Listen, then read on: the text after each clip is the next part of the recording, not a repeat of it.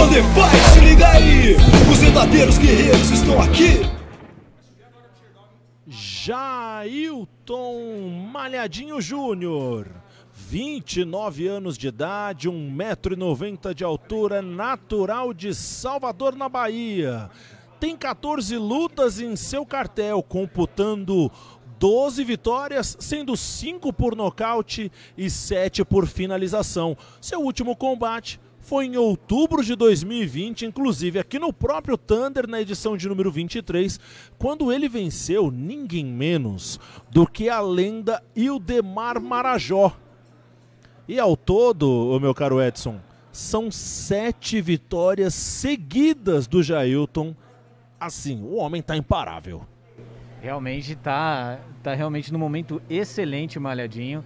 Para essa luta, na minha visão, ele entra como favorito, mas é como eu mencionei com o Leandro e com o Sandribas, que estava narrando inicialmente, né? Não dá para apostar muito em lutas do Gambit, né? Porque o Gambit já surpreendeu, já quebrou a banca várias e várias vezes. Então não dá para você desacreditar do Gambit, apesar do grande momento que o Malhadinho está lutando. e tem também o seguinte: vale o cinturão. Cinturão em jogo na categoria e o defensor vem aí. Edivaldo Gamet dispensa apresentações. Experiente, 44 anos de idade. Vocês não entenderam errado. 44 anos de idade ainda em atividade. 1,82m de altura, ele que é natural de Guarulhos, em São Paulo tem em seu cartel 66 combates, 37 vitórias, sendo 21 delas por nocaute, 9 por finalização e 7 por decisão dos juízes. Última apresentação do Gambit foi em dezembro de 2019, aqui mesmo no Thunder, na edição de número 22.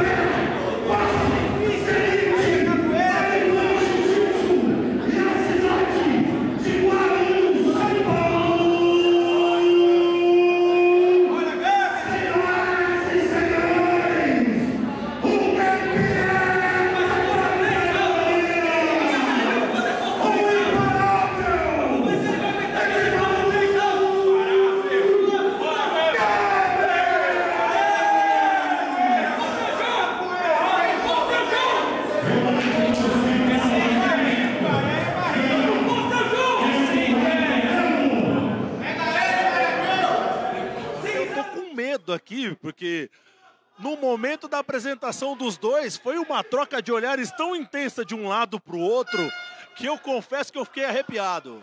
E combate iniciado, tocou a buzina e o Malhadinho já vai para cima do Gamet. Leva a luta para o solo, o Malhadinho não quer perder tempo, hein? Vai tentar liquidar a fatura o mais rápido que puder. Gamet vai se defendendo, usa o braço direito. Malhadinho tenta ali com a mão direita, desferir alguns golpes, vai buscando o pescoço. Se conseguir a mochilada e passar o braço, pode complicar, hein? Passou o braço esquerdo. Gamet vai segurando, vai tentando usar a força, mantém o braço direito do Malhadinho preso. Malhadinho vai tentando ali na base da calma, vai deixando passar o tempo, vai na base da paciência. Gambit vai tentando soltar a mão, soltou ali a mão direita do Malhadinho. Se escapar essa mão, vai ser um perigo danado. Escapa também um pouquinho a mão esquerda, vai buscando agora a inversão, passou a direita, fechou Malhadinho. Vamos ver até onde aguenta o Gambit. Malhadinho fechou a finalização, escapou. Vai agora com o braço esquerdo, tá buscando tentar puxar de todos os lados. O Gambit vai tentando com a mão direita, com a esquerda, vai desferindo alguns golpes ali. Malhadinho está na busca do pescoço, a busca da finalização perfeita. Tenta passar o braço de um lado, do outro. Gamet vai se defendendo, vai girando o corpo, vai tentando usar ali é, o apoio das pernas e o quadril para dificultar que o Malhadinho consiga buscar espaço. Ah, agora passou o braço esquerdo. Tá puxando o malhadinho, o Gamet ainda se mantém, mais uma vez escapou, agora tentou o encaixe, puxou o braço malhadinho, o Gamet vai com a mão direita, escapa mais uma vez. Meu Deus do céu! É impossível finalizar o Gamet. Edvaldo Gamet vai se segurando, o malhadinho vai passando o braço do jeito que tá, vai buscando a finalização a todo custo e o Gamet está vendendo essa finalização muito cara. Tá na mochilada. Ali o malhadinho passou, agora o braço esquerdo fechou, tá puxando, vai buscar ali, quem sabe, a finalização. O Gamet não se entrega. É incrível que ele vai até o final arrastando. Ele tem muita força, Edson. É difícil parar o homem. O Gamet está resistindo como pode. É claro que é, ele está praticamente só fazendo força, né? Isso é muito ruim pro para a continuidade da luta. Mas o Malhadinho também está fazendo muita força, todas essas pegadas de essas tentativas de, de mata-leão também usando muita força. Então os atletas estão se desgastando por igual, apesar da superioridade na luta ser do Malhadinho. E agora está na posição por cima, a mão direita do Malhadinho entrando. Alguns golpes no rosto do Gamet, ele tentou girar, encaixou ali, vai buscar a finalização. O Gamet está numa situação complicada. Vai usando a experiência, vai tentando ali girar o corpo, vai buscando escapar da finalização. O braço esquerdo do Malhadinho escapou, entra a mão direita, ele protege, vai tentando se defender. Malhadinho vai desferindo os golpes de direita, de esquerda. O Gamet vai se segurando como pode. Vai tentando levantar o corpo. Malhadinho não dá espaço. Segura ali o pescoço com a mão esquerda, vai batendo com a direita. O Edu Melo vai só observando. O Gamet conseguiu girar o corpo. Usa toda a sua experiência. O Edvaldo Gamet, agora o Malhadinho está por cima vai na pedrada, na base da machadada, vai desferindo os golpes. O Gamet tenta responder a qualquer momento e do Melo pode encerrar o combate. E vai malhadinho, vai soltando a mão direita na base da martelada. Agora passou o braço, vai buscar de novo a finalização. E o Gamet bateu, bateu, bateu. Já! Hilton, malhadinho.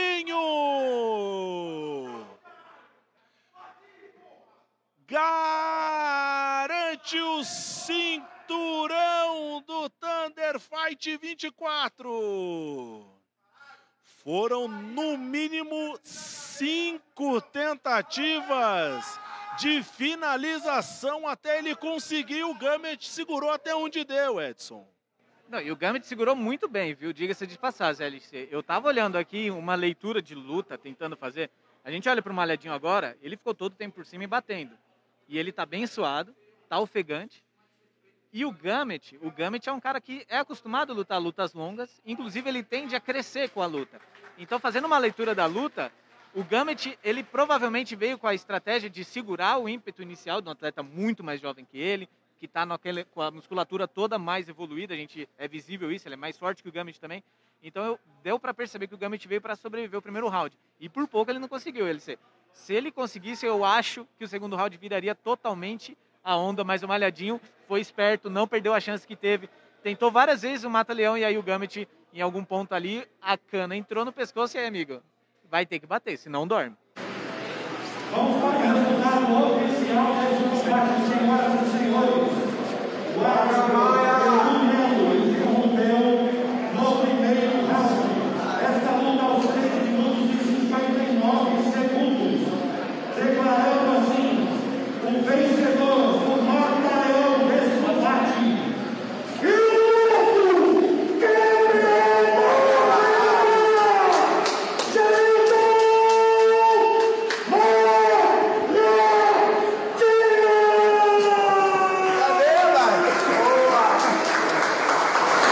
Guarda aplauso da galera, o Jailton Malhadinho. Fatura o cinturão do Thunder Fight 24.